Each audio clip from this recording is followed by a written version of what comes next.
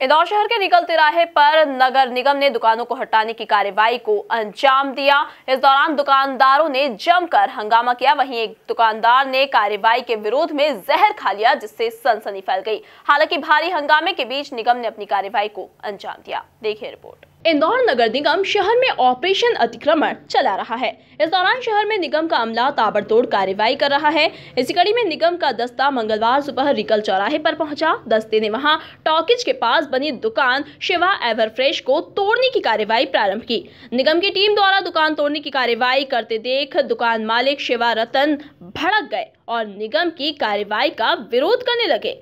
उन्होंने निगम कर्मचारियों को जहर खाने के साथ ही आत्मदाह करने की धमकी भी दी। धमकी के बाद भी कार्यवाही जारी रही तो दुकानदार ने जहरीला पदार्थ खा लिया, जिससे सनसनी फैल गई।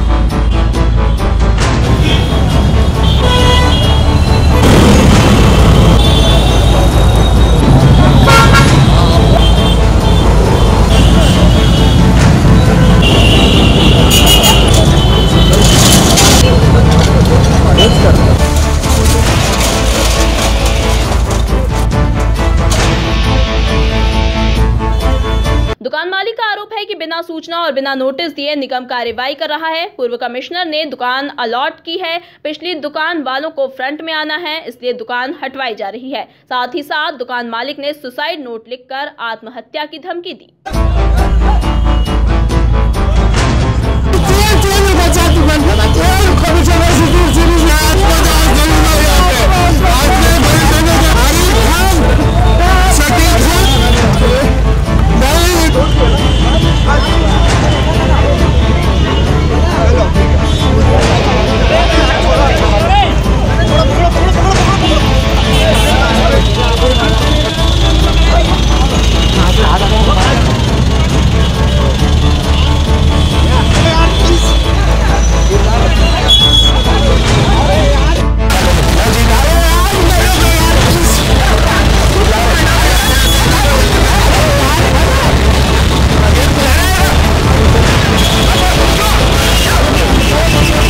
वहीं कार्यवाही को लेकर निगम उपायुक्त महेंद्र सिंह चौहान ने कहा कि दुकान मालिक को पहले सूचना दी जा चुकी है। वहीं आत्महत्या की धमकी को लेकर कहा कि दुकान मालिक के ऐसा करने से कार्यवाही नहीं रुकेगी। अगर वो ऐसा करता है तो इसके लिए एक्शन लेने वाला पुलिस प्रशासन है।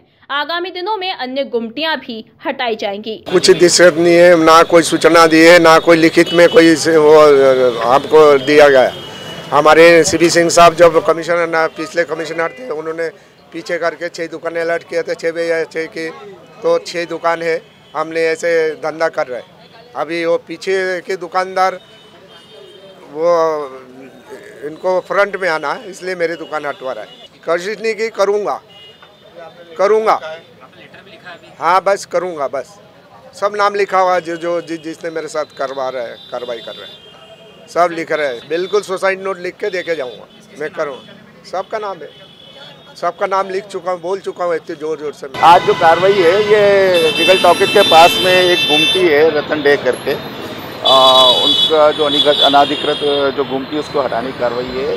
इसकी शिकायत हुई थी इनके पीछे एक सज्जन है जिस जो इनका की जो मकान दुकान है इससे कवर कर रखा है और उन्होंने पिछले कई दिनों से इसमें शिकायत कर रहे थे।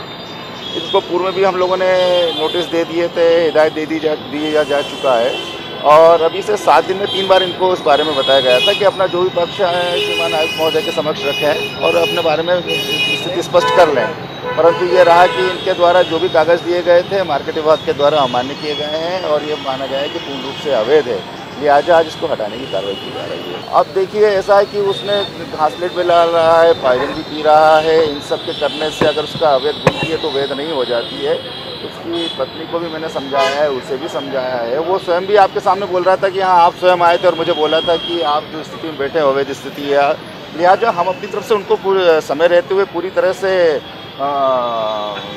हिदायत दे ही रहे हैं। इसके अलावा अगर कार्रवाई रोकने के लिए वो इस तरह के कोई हथकंडे अपनाते हैं तो उसको रोकने के लिए फिर हम सक्षम हैं। वहीं निगम कमिश्नर आशीष सिंह ने कहा कि अवैध गुमटी की वजह से ट्रैफ़िक बाधित हो रहा था। दुकानदार ने पहले घासलेट और पॉइजन खाने की भी कोशिश की थी जिसे छीन लिया गया था। लेकिन इसके बाद भी दुकान मालिक ने कुछ खा लिया उसे एमवाय ले जाया गया। देखिए जो एक गुमटी की शिकायत मिली थी कि जो सामने की दुकान थी, उसके आगे गुमटी लगा के अनधिकृत रूप से रखी हुई थी और उसकी वजह से न केवल ट्रैफ़िक को समस्या हो रही थी, बल्कि जो दूसरी शिकायतें हैं वो भी आ रही थी। इसके लिए हम लोगों ने बल को भेजा था और पुलिस के साथ भी पहले से ही हम लोगों ने कोऑर्डिनेशन के साथ में बातचीत करके रखी थी कि पुलिस भी यहाँ पे मौजूद रहेगी।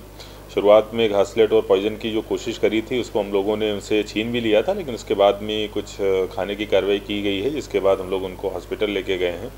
इसमें बात यह है कि चूँकि उसके आसपास और भी चार पाँच गुमटियाँ हैं, उनका एक ये जो पॉइंट था कि बाकी गुमटियाँ भी जो हटनी चाहिए तो उनको भी सात दिन का हम लोगों ने नोटिस दिया है। सात दिन के बाद जो चार पाँच गुमटियाँ और आसपास हैं, उनको भी हम लोग हटाने की कार्रवाई करेंगे, और ट्रैफ़िक के लिहाज से और शहर के हित में जो भी चीज़ें होंगी, वो कदम आवश्यक रूप से उठाए जाएँगे। कुल मिलाकर आत्महत्या की कोशिश, हंगामा और विवाद के बीच निगम के अमले ने अपनी कार्रवाई को अंजाम दिया। Bureau report, MP news, Indore.